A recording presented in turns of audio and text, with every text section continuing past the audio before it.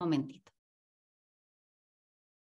Hola, muy buenos días, buenas tardes, también dependiendo del continente en donde nos acompañen.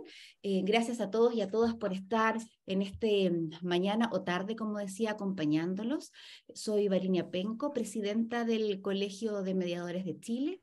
Y eh, para mí y para el colegio es un honor eh, darles a ustedes la bienvenida a este nuevo conversatorio organizado por el Comité de Mediación Civil comercial, de consumo y ambiental de nuestro colegio, que está realizando una serie de ciclos de conversatorios en relación a la temática, es cierto, que nos convoca, con el fin de conocer distintas realidades a nivel internacional que nos permitan tener un conocimiento comparado para poder, ¿cierto?, aplicar en el ejercicio y el desarrollo de esta materia en nuestro país.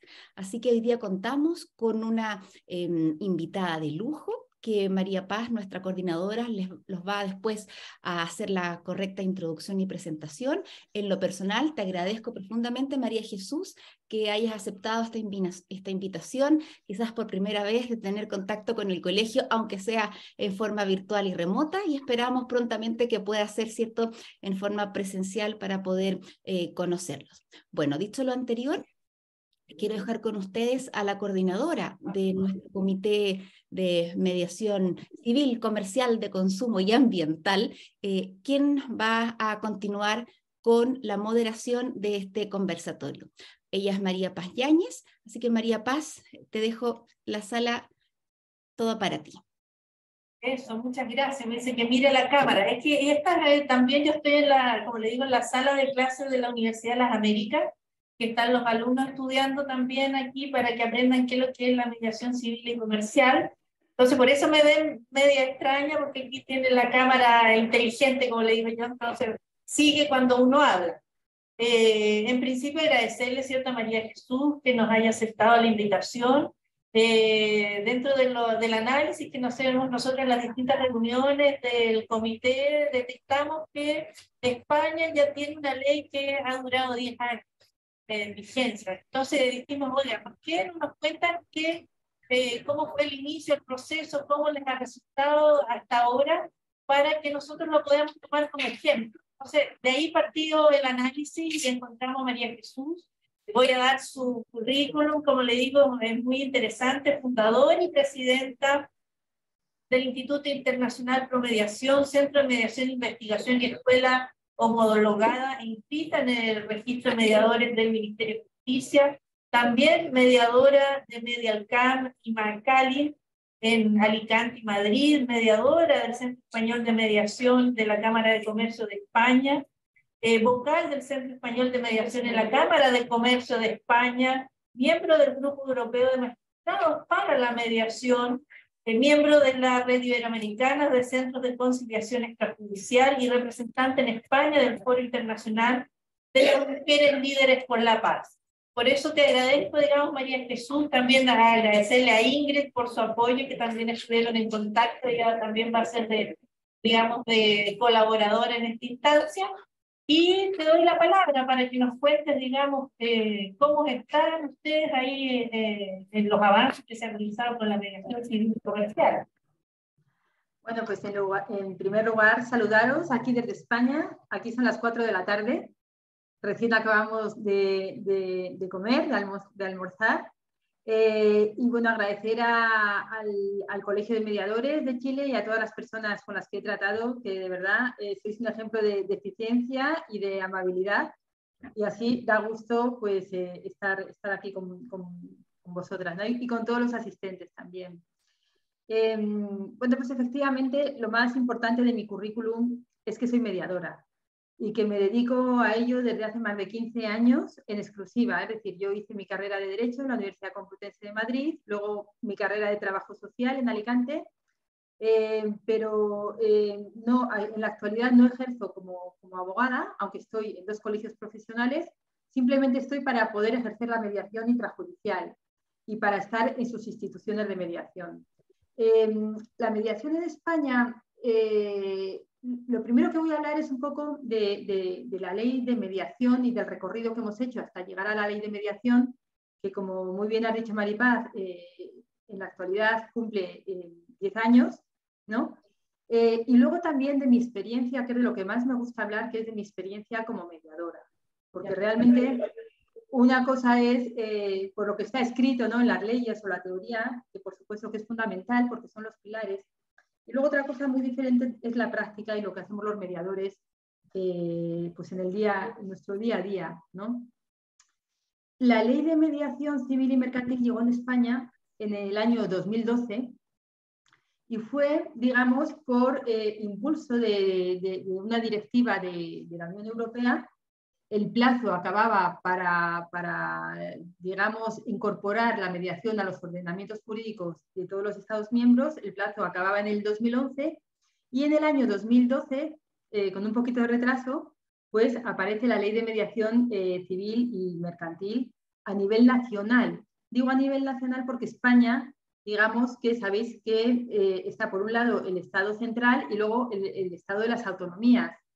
Entonces, en las autonomías ya había eh, leyes de mediación familiar, también por, disposición eh, de directiva europea, pero que siguió, un camino diferente. Es decir, hay que diferenciar la ley de, mediación en materia de familia, eh, que se adelantó en el tiempo a la ley de mediación civil y mercantil, y digamos que quedó dentro del ámbito de las autonomías. Y la ley de mediación civil y mercantil que aparece en España en el año 2012, que en un principio, si bien la directiva eh, hablaba de asuntos transfronterizos, realmente dejaba opción para que los distintos ordenamientos jurídicos la acoplaran a sus necesidades. Entonces, aquí en España se quedó como ley de mediación para asuntos civiles y mercantiles, dejando fuera otro tipo de asuntos como los penales, los de consumo, con la administración, la laboral, la mediación laboral, no es que eh, se prohíba, sino que lo deja a eh, posteriores regulaciones de los respectivos eh, ordenamientos jurídicos. Si bien a día de hoy, digamos que la ley de mediación civil y mercantil ha sido modelo para otras mediaciones donde todavía no ha habido una regulación específica. Y de esta manera, pues tanto el proceso como los principios se siguen en otro tipo de mediación, sea administrativa, laboral, penal de consumo a la espera de que bueno, pues se desarrolle o no eh, en esos ámbitos que, hemos, comentado. Em, la ley de mediación llegó a España en el año 2012 en una época de una gran crisis económica y enseguida, pues, eh, tanto las corporaciones de derecho público como privado, colegios profesionales, cámaras de comercio, digamos que vieron pues, pues una posibilidad, digamos, de en ese momento de, crisis, pues poder tener eh, otra actividad profesional, ¿no? Para personas que ya venían del mundo de la psicología, del derecho o de la economía, porque la ley, eh, digamos que eh, se abre para, para, cualquier tipo de, de formación. Es decir, mm, ahora lo hablaremos más adelante, puede ser mediador cualquier persona que cumpla con los requisitos que establece la ley, que en principio es titulación universitaria o de formación profesional grado superior y que se forme con una escuela eh, homologada eh, o reconocida por el Ministerio de Justicia. Y en base a eso, pues ya cualquier persona que cumpla estas características puede hacer mediación. Esto hizo que en multitud de colegios profesionales, nosotros, por ejemplo, desde el Instituto eh, Promediación, hemos formado abogados, a colegios profesionales de abogados, de mm, de arquitectos, de ingenieros, de psicólogos, de trabajadores sociales, a los registradores de la propiedad y mercantiles de España también los formamos. Es decir, que, eh, bueno, pues eso, eso también es una de las cosas por las que eh, también, como eh, comentaré más adelante, pudo suponer un obstáculo respecto de la opinión que tenían los abogados a que cualquier persona, y no solo los abogados, pudieran de repente poder hacer mediaciones en distintos ámbitos. Claro, porque eh, imaginaros, muchos de ellos pensaron, bueno, ¿qué es esto? ¿Eh? Esto es un intrusismo, el conflicto es nuestro, nosotros solo lo solucionamos y ahora de repente aquí cualquier persona que haga un curso ya puede hacer mediación y ya puede solucionar eh, un conflicto, un problema. Pero realmente fue así. Entonces, bueno, se acogió muy bien la ley Y luego, pues hubo también una eh, sensación un poco de, después de ese estallido y de ese boom, de que las cosas no fueron tan rápidas ni tan fáciles como parecía. Había un montón de asuntos eh, en los juzgados, realmente la mediación se veía como una necesidad, pero sin embargo, pues eh, no tuvo el recorrido que se pensaba que en un primer momento que iba a tener. Es decir, se calcularon que había 3 millones de, asuntos anuales en los juzgados y que unos 600.000 pasarían por la mediación. Los números que fueron realmente están muy alejados de, la realidad ¿no? de, esto. Eh, bueno, después de la ley de mediación, que ahora la vamos a ver en detalle, pues hubo otros intentos de, de, impulsos. De hecho, hubo un anteproyecto de ley de impulso de la mediación para ver de qué manera pues, se podían sortear los obstáculos que tenía la ley y ver de qué forma eh, se podía ampliar el número de, mediaciones. La ley de impulso de mediación nunca llegó al Congreso, se quedó en, un mero anteproyecto. Eh, y bueno, lo que se preveía en la ley de impulso de la mediación era eh, la mediación, digamos, tomando como ejemplo eh, en Italia la obligatoriedad mitigada, es decir, que previamente a interponer una demanda judicial, pues fuera necesario hacer una mediación. Pero como os digo, este anteproyecto de ley de impulso de la mediación, que a los mediadores la verdad es que nos gustaba bastante, pero no llegó a ver la luz y sí que ahora mismo está en el Congreso eh, un, proyecto de ley de eficiencia procesal, que también os hablaré después de él, eh, que ya no habla solamente de mediación, sino que habla de más, de medios adecuados de solución de controversias. Frente a los ADR, a los medios alternativos de, resolución de conflictos, eh, que era más el término anglosajón, pues, pues se decidió que ya no era tanto la mediación un medio alternativo, como un medio adecuado y que en ningún momento es alternativo a la vía judicial, sino que, bueno, pues eh, es, más bien el término de adecuado, eh, medios adecuados de solución de controversias. Como os he dicho, esto viene de la experiencia anglosajona con la idea de ofrecer a la ciudadanía un abanico, digamos, de mecanismos eh, negociadores. Ya yendo a la, ley de mediación, nuestra ley de mediación del año 2012 eh, consta de cinco títulos y de 27 artículos. No, no, es mucho articulado y bueno, pues mm, digamos que había, hay cosas que podrían ser mejorables bueno, y otras que, realmente sí que se ha demostrado su, su eficacia, ¿no? Eh, una de las cosas más importantes de la ley, en su artículo primero, que posiblemente en esta ley, en la nueva ley de eficiencia procesal va a cambiar, pero bueno, yo os digo ahora mismo tal y como está la ley, porque todavía no tengo datos concluyentes de cómo va a ser el anteproyecto, es el concepto de mediación, ¿no? que decía que se entiende por mediación aquel medio de solución de controversias, cualquiera que sea su denominación, en la que dos o más partes intentan voluntariamente alcanzar por sí mismas un acuerdo con la intervención de un mediador. Claro, fijaros que aquí se habla de eh, cualquiera, un medio de solución de controversias, cualquiera que sea su denominación. Esto ya choca con el, eh, anteproyecto, con el proyecto de ley de eficiencia procesal que habla de medios adecuados de solución de controversias y en el que se cita la mediación, la negociación, la conciliación, eh, la, evaluación de experto independiente. ¿eh? Es decir, que aquí ya no es mediación cualquier medio de solución de controversia, sino que diferencia los distintos medios. Eh, bueno, pues esto luego si queréis lo abrimos a debate para ver qué, os parece. Yo os daré mi, opinión. Em, luego vamos a ver, em, deja, como os he dicho, fuera del ámbito de aplicación de esta ley se queda fuera la mediación penal, la mediación con las administraciones públicas y la mediación laboral. Comentaros que en España ya hay, ha habido proyectos, mm, se ha demostrado su eficacia en cualquiera de estos tres ámbitos, tanto en mediación penal como en mediación con las administraciones públicas. esta, esta mediación con las administraciones públicas ahora se está desarrollando bastante eh, y, por supuesto, la mediación laboral, que, como os he dicho, eh, sigue el proceso y los principios establecidos por esta ley de mediación eh, civil y mercantil. Luego vamos a ver cosas importantes de la mediación, es que la solicitud de inicio de mediación suspende la prescripción o la caducidad de acciones desde la fecha en la que conste la recepción de la solicitud por el mediador.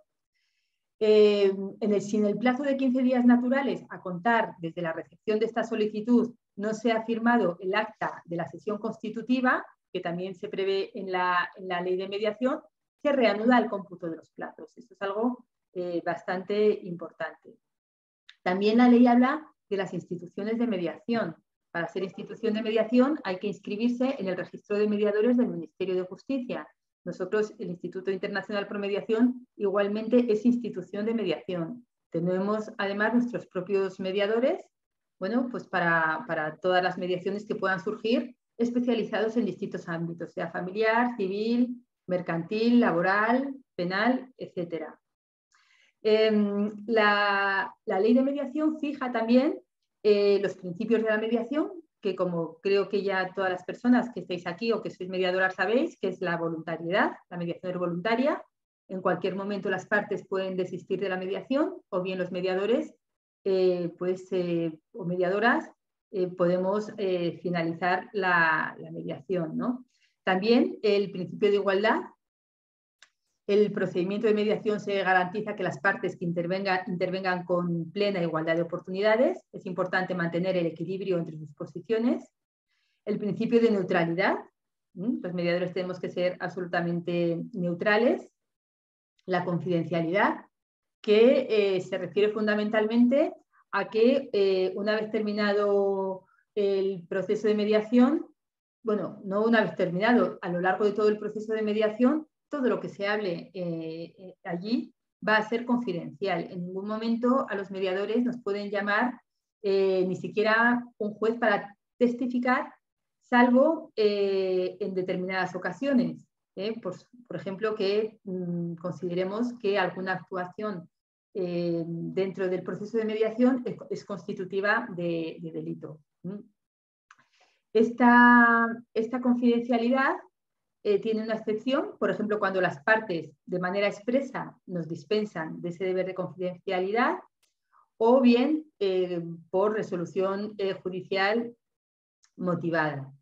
Esta, la infracción de, de, este deber de confidencialidad tiene consecuencias a efectos de responsabilidad civil de los mediadores, con lo cual es muy importante y es algo que nosotros en el, en el en la sesión informativa tenemos que recalcar y eh, para ello siempre eh, decimos a las partes que habrá sesiones conjuntas, pero también caucus o sesiones privadas y que cualquier cosa que consideren que eh, es confidencial o que les puede afectar para un futuro proceso judicial, nos lo hagan saber en estas sesiones privadas.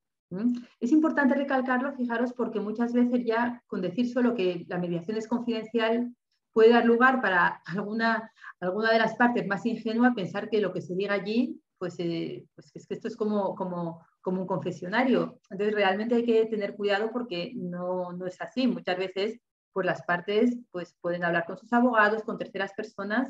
Entonces es muy importante el indicarles eh, que tienen los caucus y sesiones privadas para eh, determinadas cosas que, que nos puedan decir ¿no? Eh, cada, una de las partes.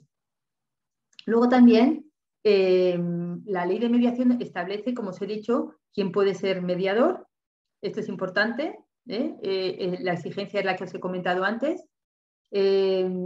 titulado universitario o FP, mm, grado superior, formación profesional grado superior y con lo que os he comentado, ¿no? con una, eh, con una mm, formación específica de escuela homologada eh, y además el, reglamento que desarrolla esta ley dice expresamente cuáles tienen que ser las materias obligatorias que eh, tienen que mm, aprender, digamos, las personas que se quieran formar en, mediación. Em, el mediador, nuestra actuación también viene regulada por ley. El mediador facilitará, cuando digo mediador, entender mediador, mediadora, para no estar todo el rato diciendo el femenino, facilitará la comunicación entre las partes, eh, velará porque dispongan de información y asesoramiento eh, suficientes, desarrollará, esto es muy importante, una conducta activa tendente a lograr el acercamiento entre las partes, con respeto a los principios recogidos en esta ley. Esto luego también lo podemos debatir, ¿qué os parece? ¿no? ¿Y a qué se refiere la ley con una conducta activa? Porque, bueno, pues desde el punto de vista eh, de la teoría, muchas eh, formaciones ¿no? que dicen que poco menos que, los mediadores eh, tienen que ser como estatuas, que solo tienen que, ver, oír y, callar, y bueno, y bueno, pues depende, ¿no? Depende, porque aquí expresamente la ley nos está diciendo que tenemos que tener una, conducta activa, tenemos que ayudarles activamente.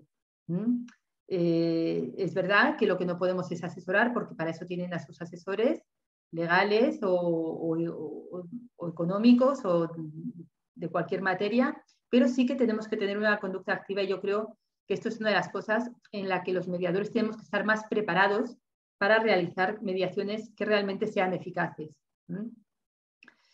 Em, también la ley dice que los mediadores podremos renunciar a desarrollar la mediación el mediador eh, no podrá mm, eh, iniciar o deberá abandonar la mediación cuando concurran eh, circunstancias que, por supuesto, nos afecten a nuestra imparcialidad.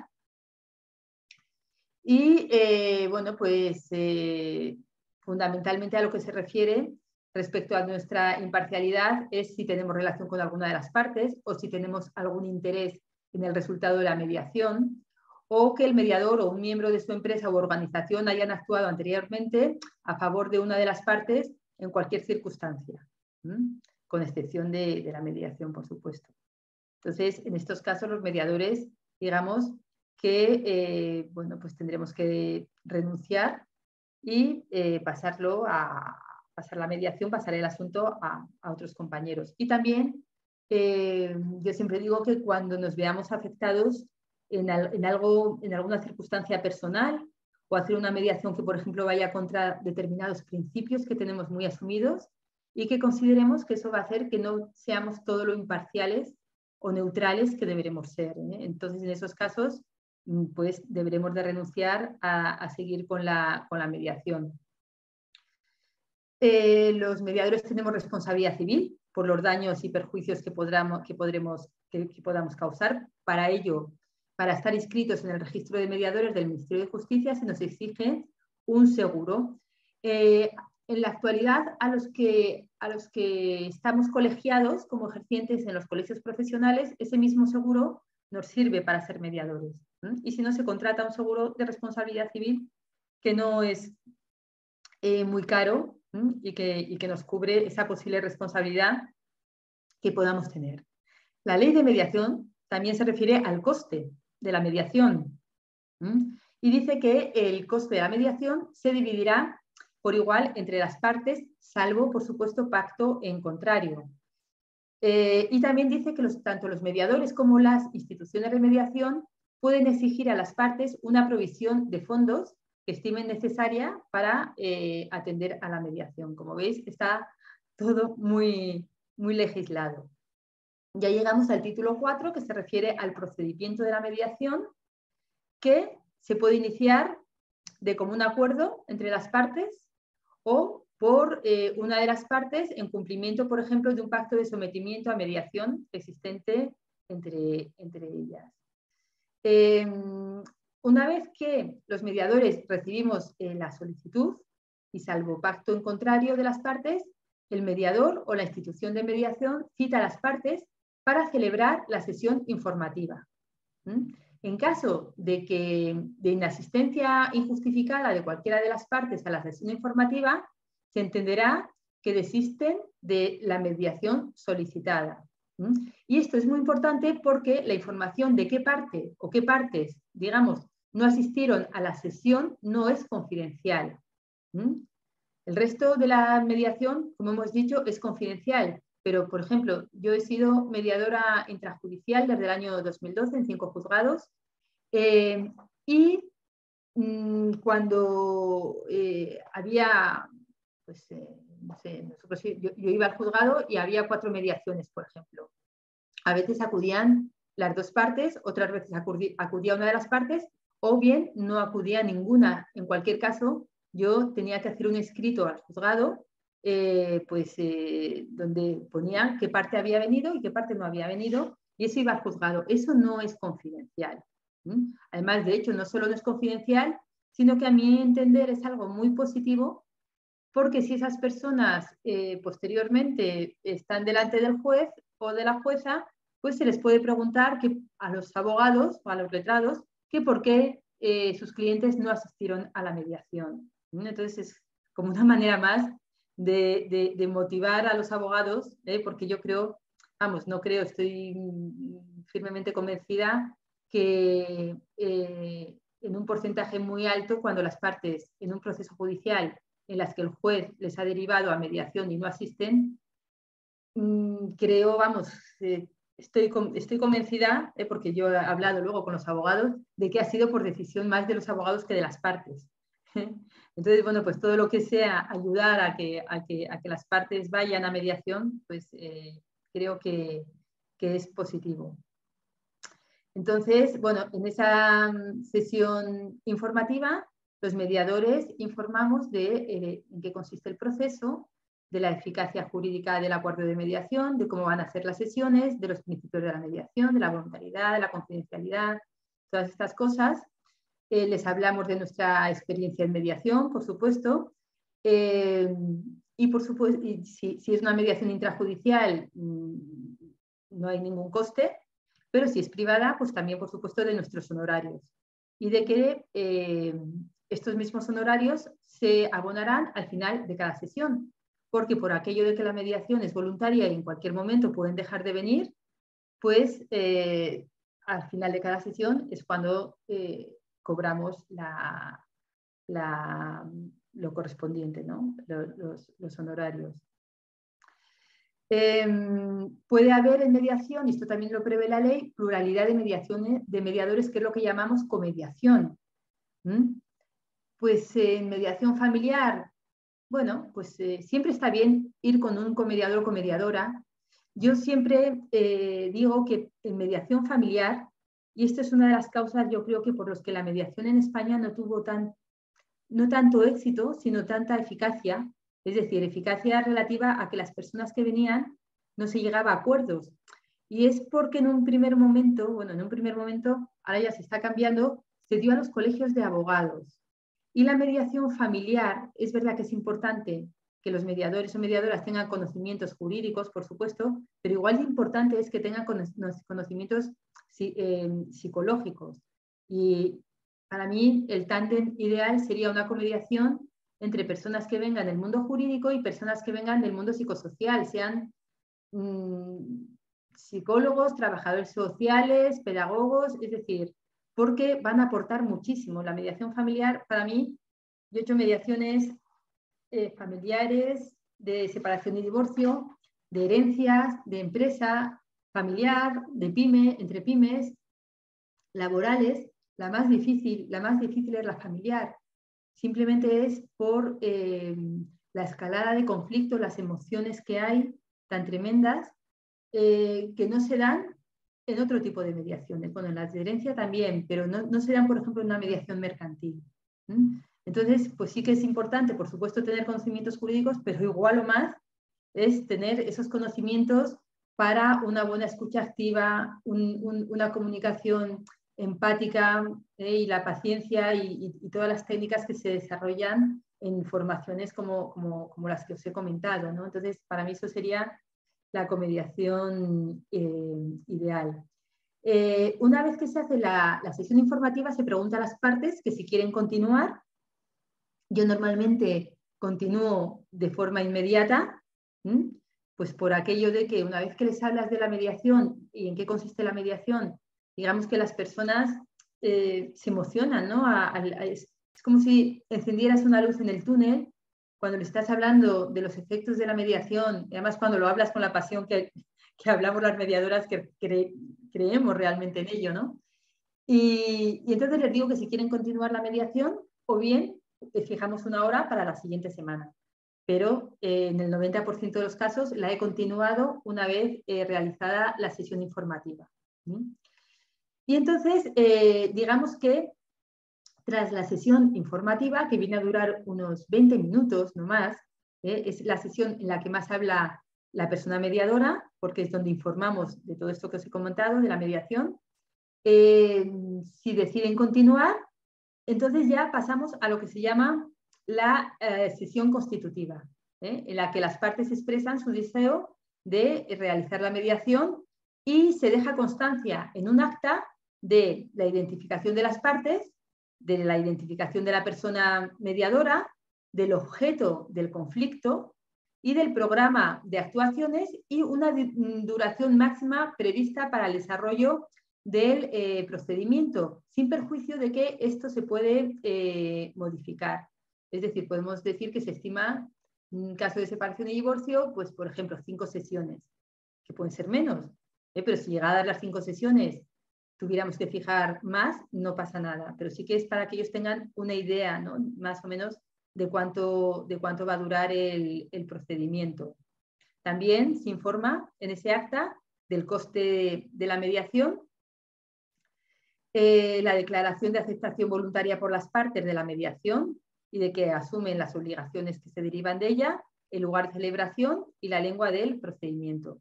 ¿Mm? Entonces, como os he dicho, de esta sesión constitutiva se, eleva un acta que firmarán eh, las partes y que firmará eh, la persona mediadora. Respecto de la duración del procedimiento, sí que es verdad que la ley dice que será lo más breve posible y sus actuaciones se concentrarán en el mínimo número de sesiones. Pero bueno, pues realmente mi experiencia os puedo decir, yo he llegado a hacer una mediación eh, familiar que entraría dentro de civil en tres horas y luego, bueno, pues hay algunas, eh, bueno, si nos vamos a la mediación de empresa familiar, mm, pueden durar eh, incluso meses, ¿eh?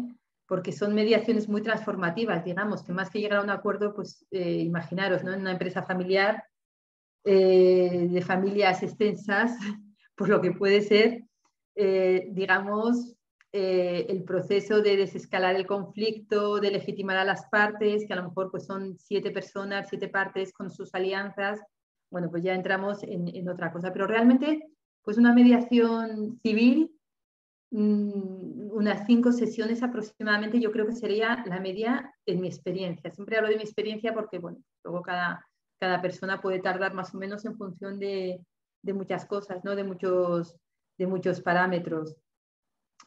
Em, bueno, también en la ley de mediación se dice que las mediaciones eh, podrán ser eh, pues, eh, con, todas las partes o bien por separado.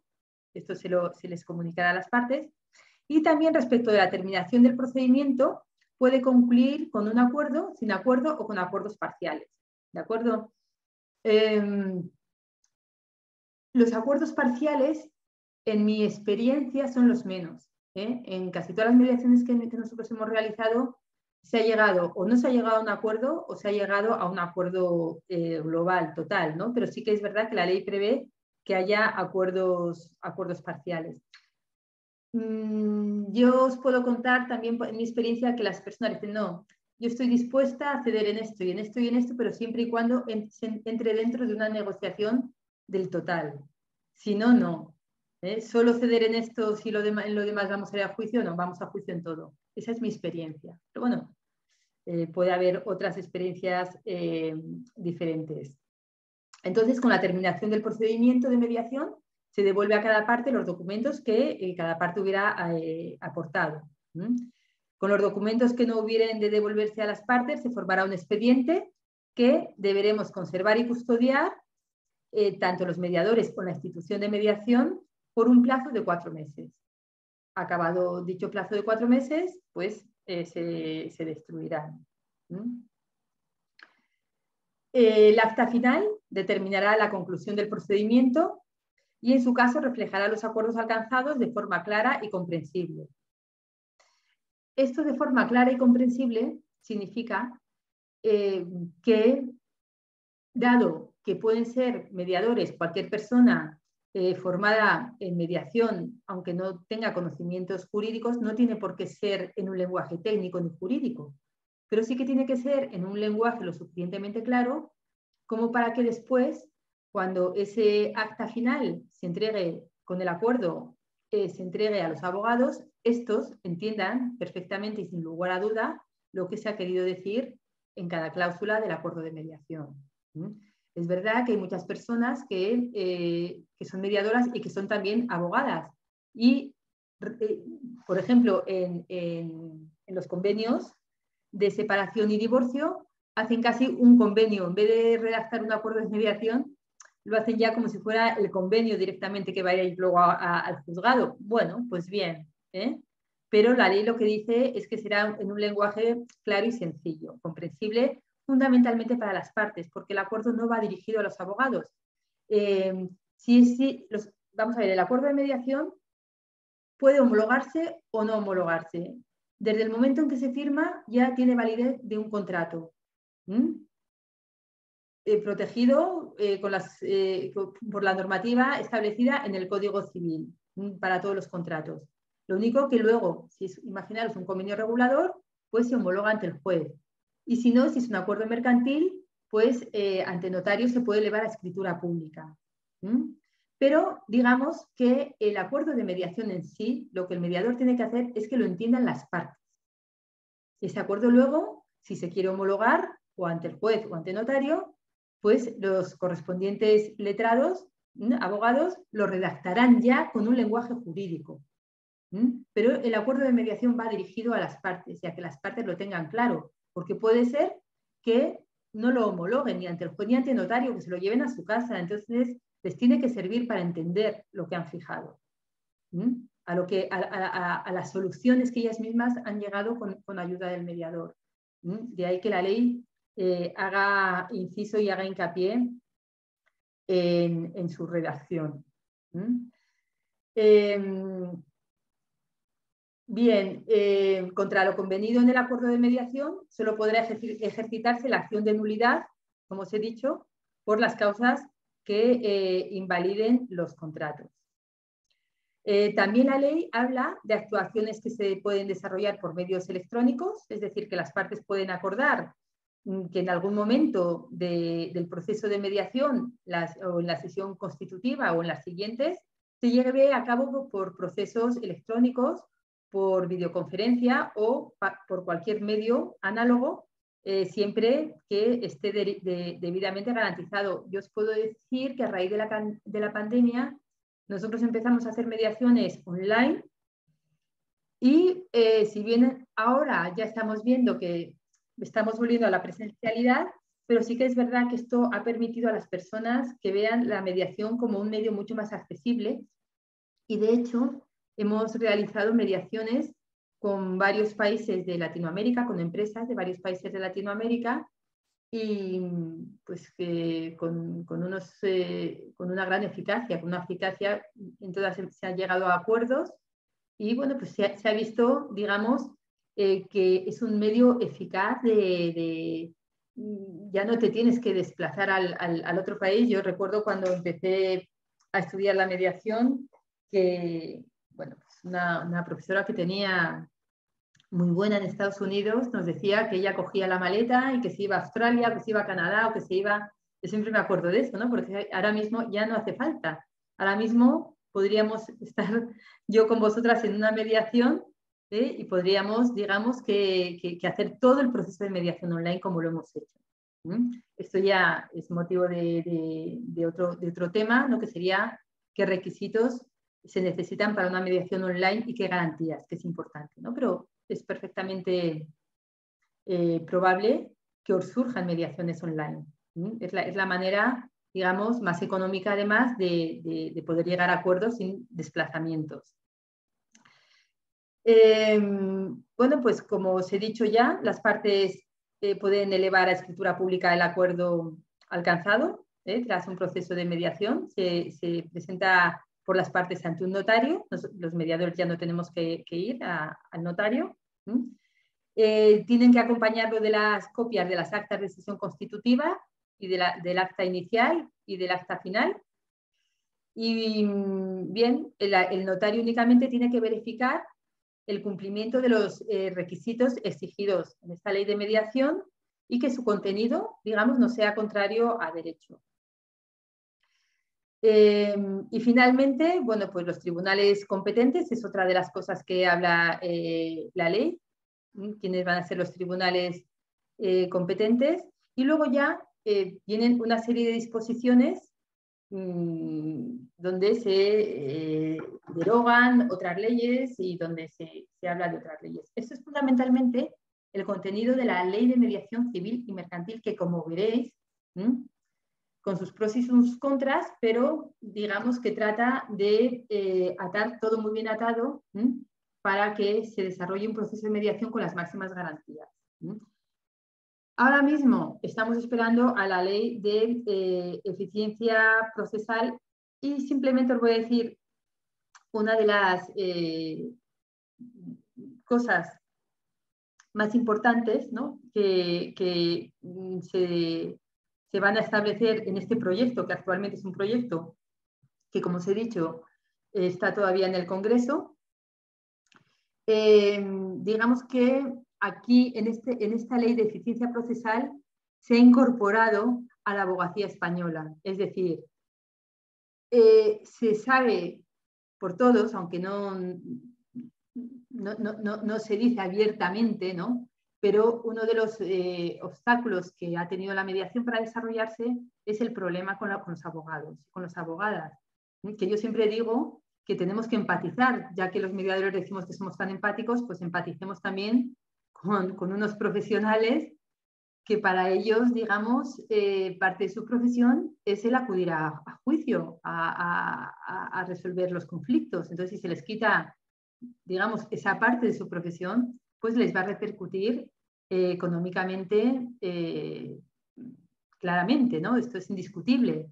Entonces, eh, con esta ley de, de, medidas de eficiencia procesal, lo que se ha, hecho ha sido reforzar la presencia de los abogados en mediación, que de hecho, para los abogados de turno de justicia gratuita, de turno de oficio, incluso en el caso de que se llegue a un acuerdo de mediación, que en última instancia evite el juicio, ellos van a seguir cobrando.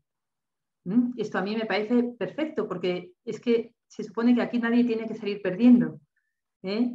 La mediación tiene que ser ganar y ganar para las partes, pero también para los operadores jurídicos. Entonces, a mí me parece muy bien. Yo no soy abogada, eh, soy abogada, pero no, no, no, ejerzo la, la, abogacía, pero lo veo, lo veo, lo veo bien, ¿no? que, nadie, que nadie pierda.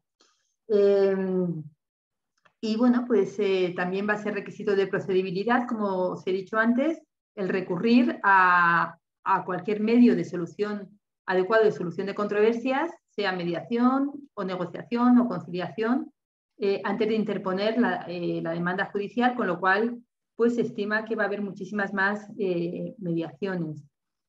Y bueno, pues esto es un poquito mm, lo que os puedo decir del recorrido que eh, en España el recorrido legislativo, digamos, que se ha hecho en España hasta la fecha. Eh, desde mi experiencia, sí. Ah, perdón, creía que habéis hablado. Desde mi experiencia os puedo decir que yo he sido mediadora intrajudicial, ahora lo he dejado porque era mucho trabajo, para mí era una vocación eh, y lo he hecho encantada y he aprendido mucho he estado durante 10 años en, cinco juzgados. Eh, he aprendido muchísimo, he visto la diferencia que hay de una mediación intrajudicial a una extrajudicial.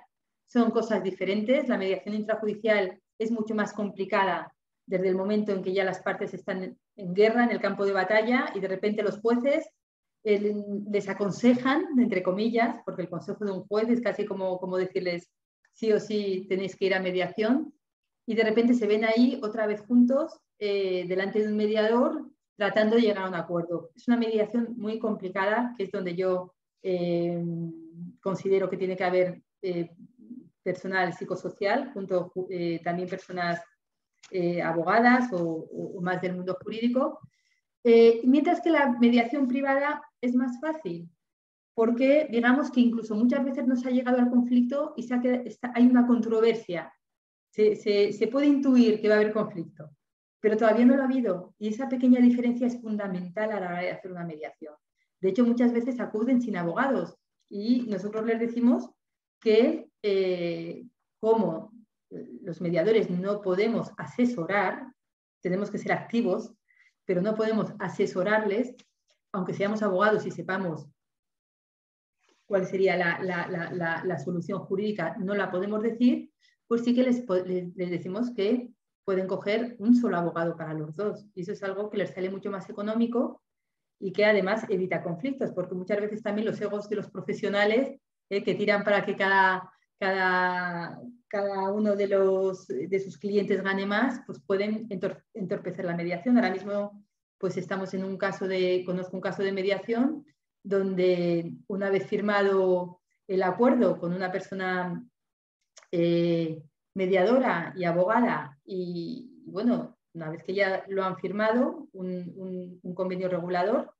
eh, pues ahora el abogado de una de las partes eh, lo quiere cambiar. Entonces, pues bueno, todas estas cosas nos pueden obstaculizar ¿no? y hay que tener cuidado.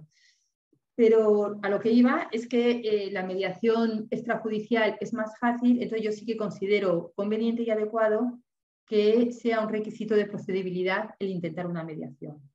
No se entiende muy bien eh, no solo por mi parte, sino por, parte ya de, varios profesionales, el que, eh, digamos, hayan incorporado la negociación, la conciliación y otros medios adecuados de solución de controversias, cuando eh, a través de las escuelas de mediación tenemos todo eso, porque la escuela, fijaros, la escuela de Harvard es un medio directivo, es casi una conciliación. El mediador directivo que incluso puede eh, llegar a, aconsejar a las partes. O tenemos el modelo transformativo, que es dejar a las partes, digamos, más, más eh, eh, a, su, capacidad y a su responsabilidad para llegar a un acuerdo. Entonces, pues bueno, no sabemos hasta qué punto todo esto que hemos copiado del mundo anglosajón va a ser efectivo. ¿Piensan los operadores jurídicos y los legisladores que lo han realizado que sí, que va a ser más efectivo? Pues bueno, vamos a verlo, ¿no? de eso ya podremos hablar dentro de unos meses. María Jesús, muchas gracias por tu exposición. Digamos, aquí yo hice varias notas, digamos, que vamos a proponer ahí al Colegio Mediadores. Y eh, quería darle palabra, ¿cierto?, a, a, los participantes para que te hagan consulta y Margarita tiene la mano levantada. A ver, Margarita, no sé si puedes habilitar tu micrófono. Ahí.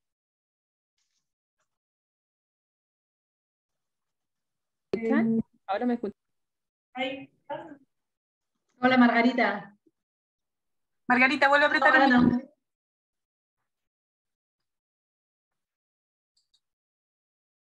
¿No me escuchan? Ahí sí, ahora sí. Hola, un gusto, muchas gracias por la temática. Eh, al igual que otras, eh, ¿cómo se llama? Otros eh, seminarios o exposiciones que hemos tenido, es muy interesante.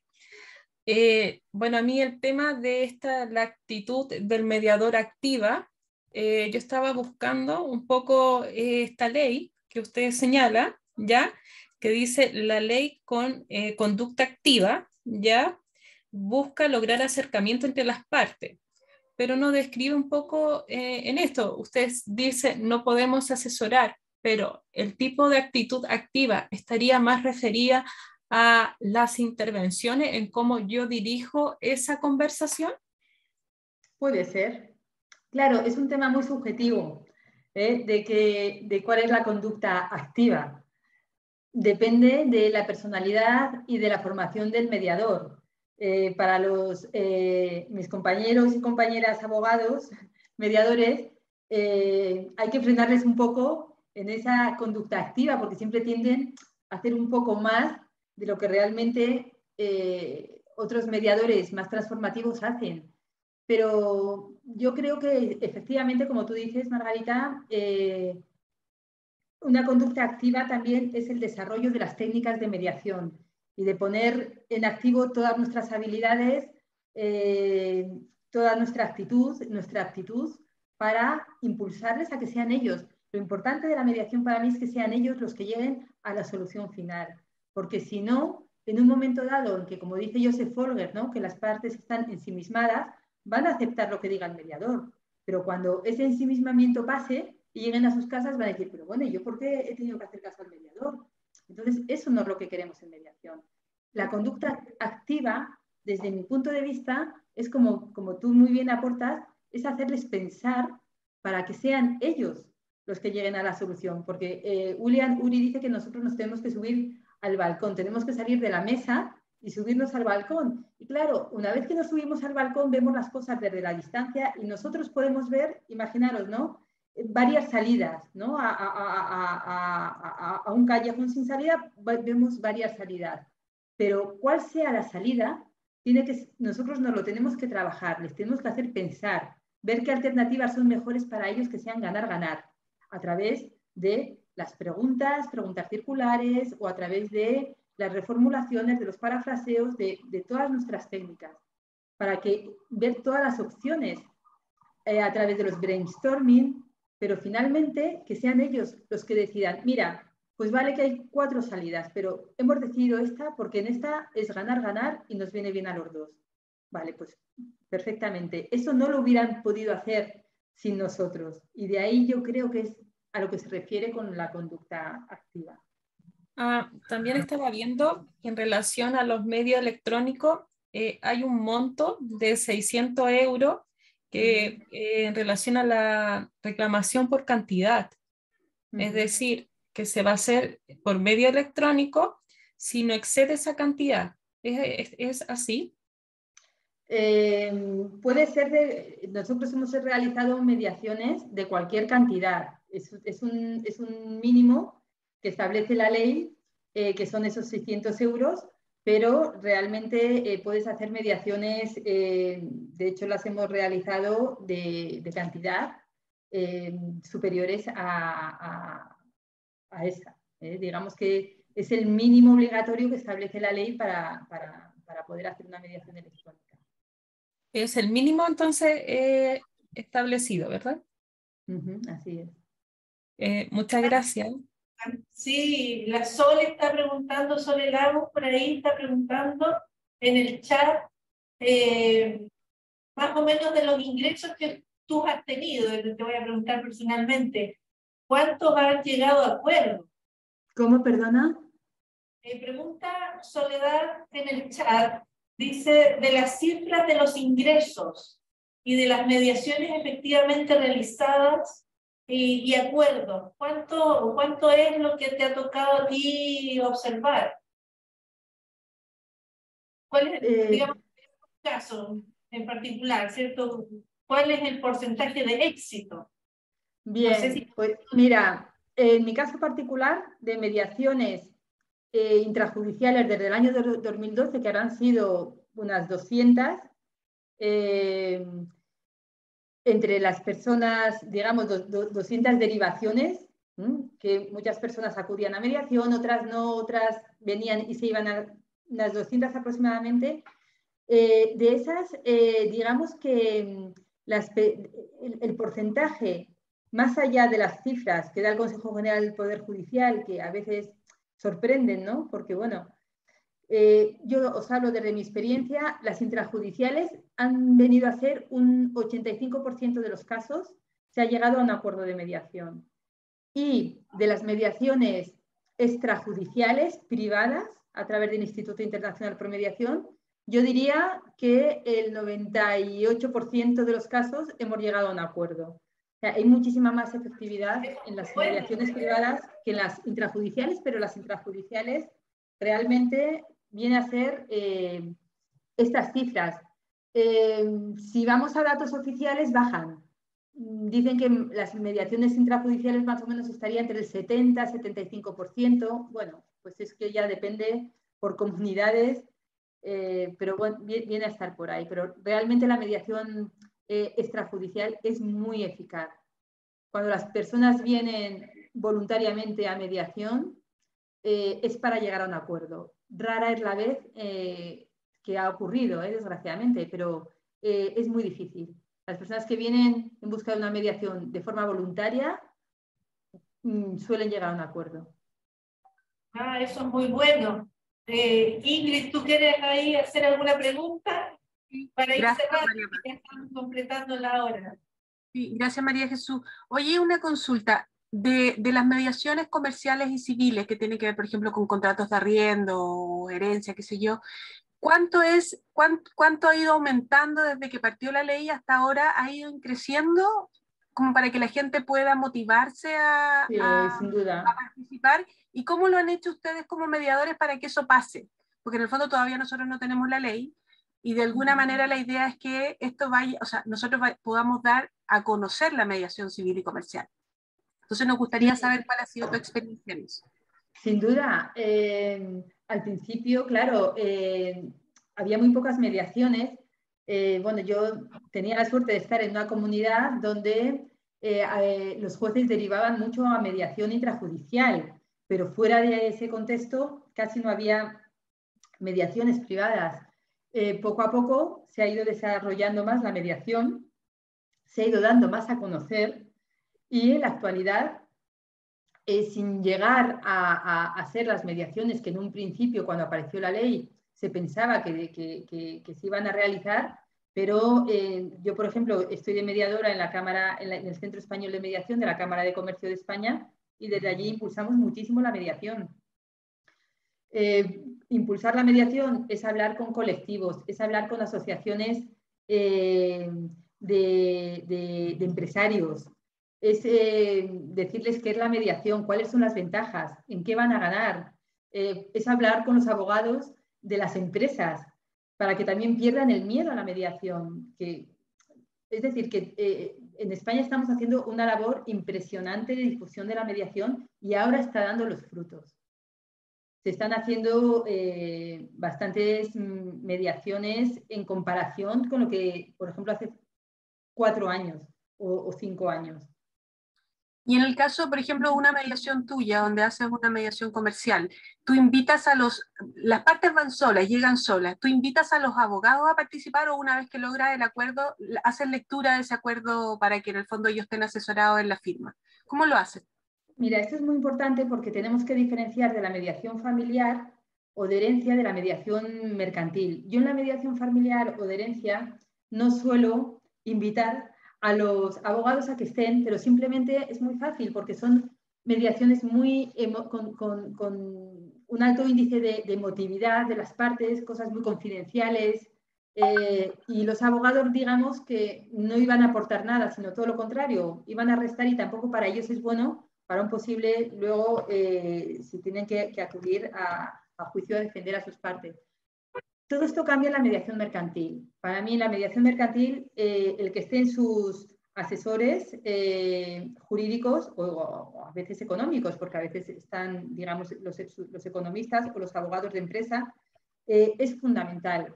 Es fundamental para el, para el proceso y es fundamental además para los abogados. Yo me siento mucho mejor cuando están los abogados de empresa porque además sé que las partes no van a dar ningún paso sin antes hablarlo con sus abogados con lo cual fluye mucho más el proceso cuando están los abogados de las partes presentes, porque si no, muchas veces tenemos que decir, bueno, vamos a ver, eh, llamad a vuestros abogados a ver qué dicen o me voy a reunir con vuestros abogados a ver qué opinan, mientras que si están ahí, va todo mucho más rápido. Es verdad que dentro del proceso no siempre están las partes con los abogados. Nosotros distinguimos muchas veces, decimos, bueno, en esta sesión queremos eh, hablar con cada parte por separado.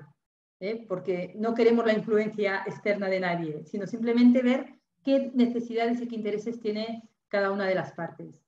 Entonces podemos verles mm, en sesiones privadas eh, a, los empresarios, eh, o en otras ocasiones a ellos con sus abogados, en otras ocasiones a los abogados solos, en otras ocasiones a ambos abogados. Es decir, que en función de lo que el mediador mm, vea, así, digamos, se va hablando con unos y con otros pues con la idea simplemente de ver, eh, pues eso, qué alternativas puede haber, hasta dónde están dispuestos a llegar, materias jurídicas que el empresario no sabe y que los abogados nos pueden ayudar. Eso ya es una labor de dirección de la mediación por parte de, cada, de cada quien, de, cada, de cada mediador. Sí, muchas gracias María Jesús. Ahí le voy a dar la, la palabra a Varinia para que vamos cerrando, ¿cierto? Agradecerte tu experiencia, yo creo que nos ha servido mucho. Hay muchos abogados y colegas mediadores también que en distintos países y que están tomando nota de, de, tu, de todo lo que tú has dicho, así que te agradezco enormemente. María, te Muchas gracias. Muchas... María, antes que hable, es que Pablo quería hablar antes, me parece que no sé si le pueden dar la palabra antes de terminar o, o ya vamos al final. Dame un segundito. Está por ahí Pablo. Él tenía una pregunta que era, no sé si es que no logra activar, no logra... Mm, sí, ya, ya lo activé. Ah, perfecto. Muchas gracias. Muchas gracias. Un abrazo a María Jesús desde acá de Barranquilla, Colombia. Hola, eh, Pablo, ¿qué tal? ¿Cómo estás? Eh, básicamente es la recomendación que nos darías a los países donde la mediación no ha tomado el lugar que debiera. ¿Cuál es el futuro de la mediación y cómo impulsamos la Convención de Singapur para lograr que los acuerdos tengan validez internacional? Gracias.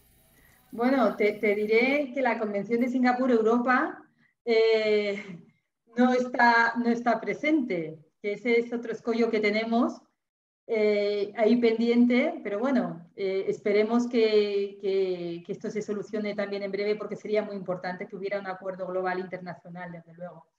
Eh, creo que es importante que, que, los países tengan una ley de mediación. Creo que ese es el primer paso fundamental, es que exista una, una ley que puede ser mejor o peor, nunca será acuerdo, nunca, nunca eh, tendrá el acuerdo por unanimidad de todos, porque siempre es muy complicado, pero eh, es fundamental para fijar las bases y asentar los principios. También creo que es importante que se establezcan recursos económicos para la mediación. En España yo os puedo decir pues las cosas que, según mi opinión, no se hicieron bien, ¿no? Y es que en un principio no, no había una partida presupuestaria para la mediación, la mediación se hizo por acuerdos de los colegios de abogados con el Consejo General del Poder Judicial y se empezó a eh, hacer proyectos de mediación intrajudicial gratuita. Eso yo os digo que si podéis eh, eh, lo, lo, eliminéis porque hizo mucho daño a la mediación.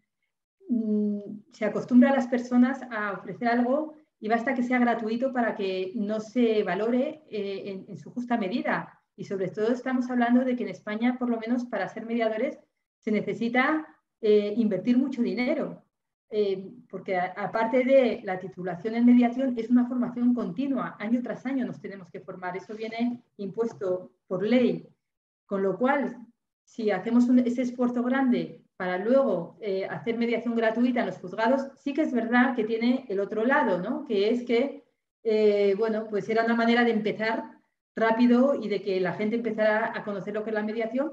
Y a, nosotros, por ejemplo, nos sirvió para tener la experiencia que tenemos. Imagínate, 10 años haciendo mediación intrajudicial gratuita para las personas eh, que venían a mediación, pero también gratuita desde el momento en que no, nadie nos pagaba.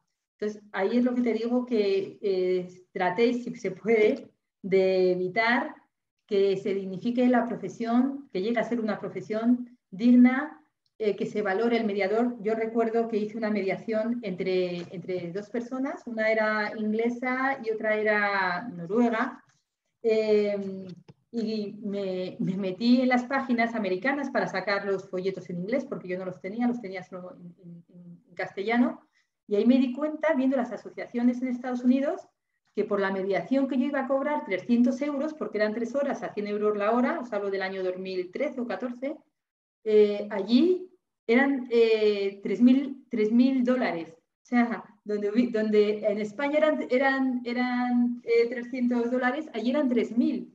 Y de hecho, cuando ya hicieron la mediación, fue la mediación más corta que, he tenido en mi vida, solo fueron tres horas, pero fue muy eficaz, llegaron a acuerdo rápido. y cuando les dije lo que era no se lo podían creer. Me decían, pero esto nos hubiera costado en, cualquier otro sitio de Europa 20 veces más. Entonces, es algo que realmente tenemos que empezar a valorar los mediadores.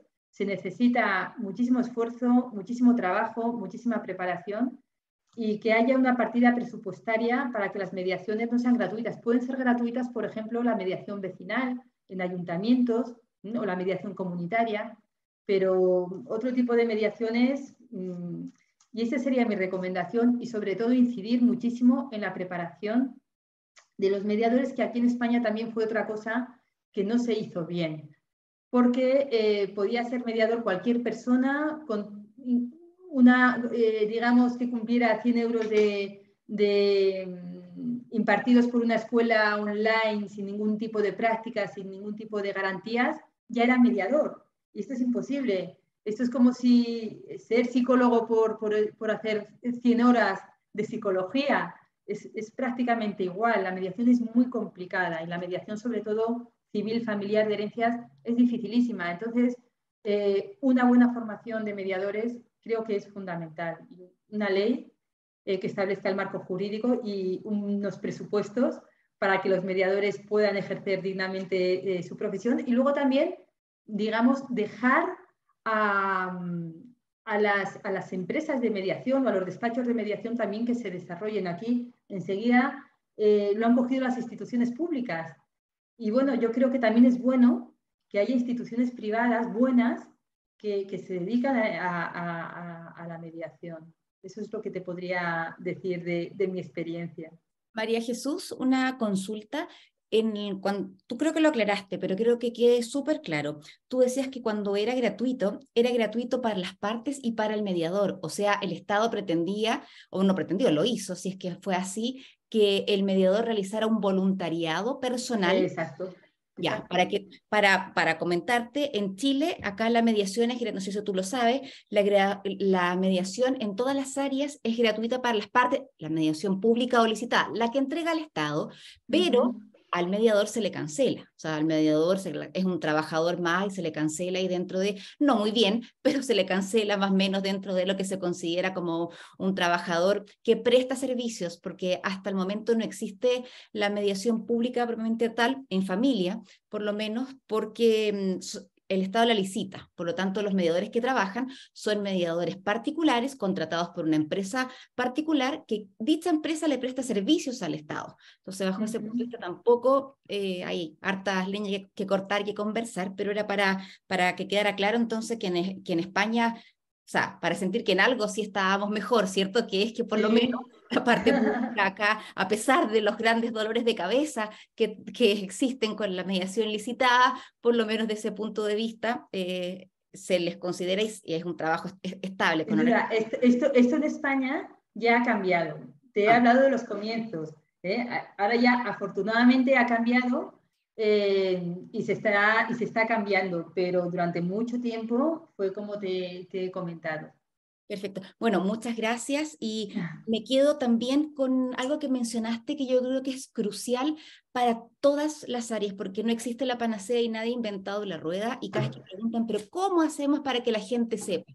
Salir al territorio, al territorio que corresponde para cada área, me refiero. O sea, por ejemplo, en comunitario, ¿cómo hemos hecho que se difunda? Sacándonos la mugre con los zapatos en cada municipalidad, en cada colegio, partiendo donde no nos conocía nadie, llamando municipalidad por municipalidad. O sea, un trabajo que uno diga así, pero yo no estoy para esto. Sí sé, pero entonces, ¿qué hacemos? Porque hay que partir por alguna parte. Entonces, homólogo, hablo desde ahí porque es el área en la cual yo me dedico, como más escolar y, em, y comunitario, eh, homólogo a, a, lo que es civil, es los territorios, los gremios, algo que he hecho y que destaco, porque acá creo que, aunque como colegio estamos empezando, el, el comité ha hecho una, una labor muy importante, el, al, informarse de lo que está pasando, ¿cierto? Ahora viene la segunda parte, que es el desafío mayor todavía, que es dejar los zapatos, entre comillas, en la calle, homologando a este, a este rubro, que es hacer convenios con los gremios, ir a los gremios pequeños o a los grandes y decir que esto está, hacer ciertos convenios, hacer difusión. Siento que no hay otra forma de, de empezar desde menos que de abajo en el fondo, o sea, con una paciencia enorme, eh, porque lamentablemente las políticas públicas no nos acompañan.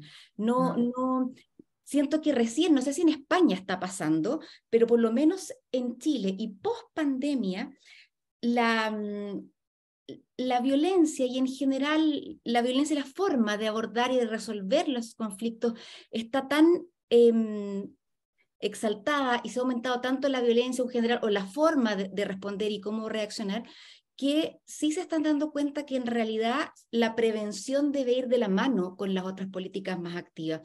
¿Cómo se aplica esto a lo comercial? Sería muy interesante ver si es que a nivel comercial eh, ha aumentado, por ejemplo, ya la litigio, o sea, si de alguna forma ha aumentado o no este hecho de la pandemia frente al, al, no lo sé, y no sé si alguien sabe si al respecto en el área comercial la gente se ha puesto eh, más litigiosa aún de lo que ya eran. No sé si habrá algún estudio o alguien lo habrá notado, sí, pero siento que en las otras áreas sí se está tomando recién la importancia de que saber dialogar, saber abordar los conflictos de una manera eficiente, colaborativa y constructiva es mucho más importante de lo que se pensaba.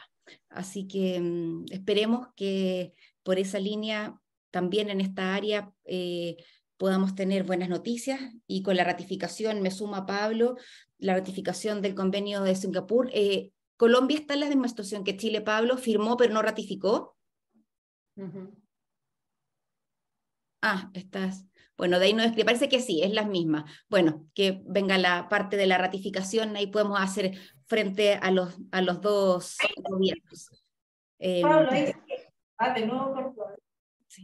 ¿Sí? Están en las mismas, perfecto. Bueno, muchísimas gracias a cada uno de los presentes. Muchas gracias, María Jesús, por este interesante conversatorio. Va a ser subido a nuestro canal de YouTube, así que ahí, una vez que esté, se lo vamos a hacer llegar a cada uno de los asistentes o por las redes respectivas de contacto para que lo puedan seguir eh, compartiendo, difundiendo y repasar también, porque hubo muchas cosas interesantes, ¿cierto?, para poder volver a, a reescuchar. Así que muchas gracias a cada uno de ustedes y hasta una próxima oportunidad que mm, espero nos puedan acompañar en otro conversatorio organizado por el Comité Civil, Comercial de Consumo y Ambiental del Colegio de Mediadores de Chile.